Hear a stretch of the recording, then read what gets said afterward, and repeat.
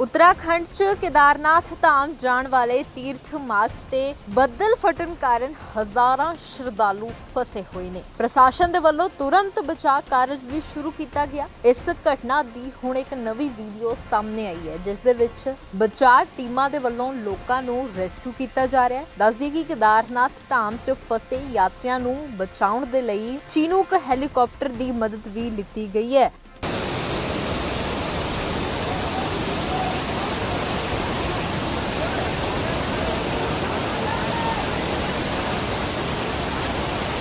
ਹਾਲਾਂਕਿ ਲਗਾਤਾਰ ਕੱਲ ਤੋਂ ਹੀ ਬਚਾਅ ਕਾਰਜ ਕੀਤਾ ਜਾ ਰਿਹਾ ਹੈ। ਇਸ ਦੇ ਵਿੱਚ ਕਈ ਲੋਕਾਂ ਨੇ ਆਪਣੀ ਜਾਨ ਵੀ ਗਵਾਈ ਹੈ ਤੇ ਕਈ ਲੋਕ ਇਸ ਦੇ ਵਿੱਚ ਜ਼ਖਮੀ ਵੀ ਹੋਏ ਨੇ। ਤੁਸੀਂ ਲਗਾਤਾਰ ਕੱਲ ਤੋਂ ਤਸਵੀਰਾਂ ਦੇਖੀਆਂ ਹੋਣਗੀਆਂ, ਖਬਰਾਂ ਦੇ ਵਿੱਚ ਵੀ ਸੁਣਿਆ ਹੋਵੇਗਾ ਕਿ ਹਿਮਾਚਲ ਦੇ ਵਿੱਚ ਕੁਦਰਤ ਦਾ ਕਹਿਰ ਦੇਖਣ ਨੂੰ ਮਿਲਿਆ, ਜੋ ਕਿ ਅਕਸਰ ਮੌਨਸੂਨ ਦੇ ਵਿੱਚ ਜਾਂ ਜਦੋਂ ਬਰਸਾਤ ਹੁੰਦੀ ਹੈ, ਦੇਖਣ ਨੂੰ ਮਿਲਦਾ ਹੈ। ਚਾਹੇ ਉਹ ਸ਼ਿਮਲਾ ਹੋਵੇ ਮਨਾਲੀ ਹੋਵੇ, ਕੁੱਲੂ ਹੋਵੇ, ਜੋ ਤਸਵੀਰਾਂ ਸਾਹਮਣੇ ਆਈਆਂ ਨੇ, ਉਸਨੇ ਰੂਹ ਨੂੰ ਝੰਜੋੜ ਕੇ ਰੱਖ ਦਿੱਤਾ ਕਿਉਂਕਿ ਪਿੰਡਾਂ ਦੇ ਪਿੰਡ ਤਬਾਹ ਹੋ ਗਏ, ਪਰਿਵਾਰਾਂ ਦੇ ਪਰਿਵਾਰ ਤਬਾਹ ਹੋ ਗਏ, ਜੋ ਕਿ ਤਸਵੀਰਾਂ ਹਰ ਇੱਕ ਕੋਨੇ ਦੀਆਂ ਅਸੀਂ ਤੁਹਾਨੂੰ ਦਿਖਾਈਆਂ ਹੈ ਲਗਾਤਾਰ ਤਸਵੀਰਾਂ ਵੀ ਇਸ ਪੂਰੇ ਘਟਨਾ ਦੀਆਂ ਜੋ ਹਿਮਾਚਲ ਦੇ ਵਿੱਚ ਇਸ ਵੇਲੇ ਤਬਾਹੀ ਹੋ ਰਹੀ ਹੈ। ਕਿ ਇੱਕ ਤਸਵੀਰ ਤੁਹਾਡੀ ਸਕਰੀਨ ਤੇ ਸਾਂਝੀ ਕੀਤੀ ਸੀ, ਪਰ ਹੁਣ ਇੱਕ ਕੇਦਾਰਨਾਥ ਧਾਮ ਤੇ ਜਦੋਂ ਬੱਦਲ ਫਟਿਆ, ਉਸ ਤੋਂ ਬਾਅਦ ਇੱਕ ਹੁਣ ਇੱਕ ਨਵੀਂ ਵੀਡੀਓ ਸਾਹਮਣੇ ਆਈ ਹੈ, ਜਿਸ ਦੇ ਵਿੱਚ ਲੋਕ ਕਿਸ ਤਰੀਕੇ ਦੇ ਨਾਲ ਲੋਕਾਂ ਨੂੰ ਬਚਾਇਆ ਜਾ ਰਿਹਾ, ਉਸ ਵੀਡੀਓ ਦੇ ਵਿੱਚ ਤੁਸੀਂ ਵੇਖ ਸਕਦੇ ਹੋ।